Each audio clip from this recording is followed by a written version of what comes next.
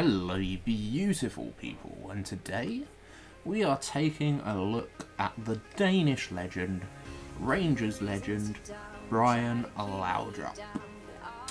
16 games, 11 goals, a complete lie. I Got disconnected from many a games. I reckon it's probably about 9 games, 11 goals, 6 assists. You can see his card stats there. He looks phenomenal. He's one of the cheaper end legends. He's not the most popular. He goes for about 400k. I paid 380 for him. But look at his stats. What's not to like about them? He's got everything you would need. Let's look at those in games though. 81 composure, 85 attacking positioning, 84 vision, 88 acceleration, 85 agility, 71 balance, 87 reactions, 87 sprint speed, and 81 stamina. Only 67 strength and 65 jumping. A little bit on the low side there. 88 ball control, 72 crossing, 78 curve, 90 dribbling, 84 finishing, 76 free kick accuracy, 81 long shots, 84 short passing, 77 long passing, 83 short shot power, sorry, with 74 volleys. He is of course 6 foot 1 tall, 4 star skills, a 3 star weak foot, with those high low work rates.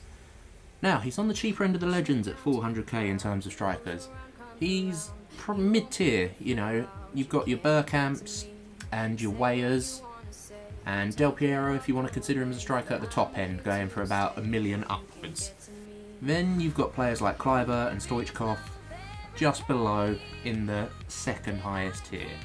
Then you come down to the likes of Laudrup and who else? Vieri, Shearer, those sort of caliber of players.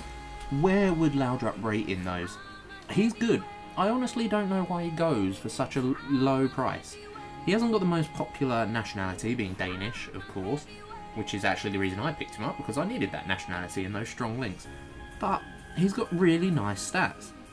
He's fast, he's six foot one, which is, to find a fast player that's six foot one, you're normally looking at the likes of Bale and Ronaldo. And Laudrup, he played kind of similar to them. I don't want to say exactly because his strength is completely different to Ronaldo and Bale's, obviously. Physically, he is a little bit weak, but because he's six foot one, that kind of negates the strength aspect because he's got the long legs, he's got the reach, and he's got the height to bring down balls. Also, with his back to play, he can still hold up defenders. You know how overpowered the left trigger is, it's stupid.